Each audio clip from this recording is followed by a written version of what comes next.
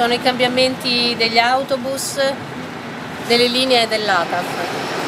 Allora abbiamo, ci sono due linee nuove, poi ci sono quelle che cambiano percorso e poi ci sono una linea soppressa che è il 22 perché eh, ci sarà il 14 che arriva un attimino più vicino in, eh, alla, alla fermata della T2 e poi ci sono quelle che rimangono praticamente invariate.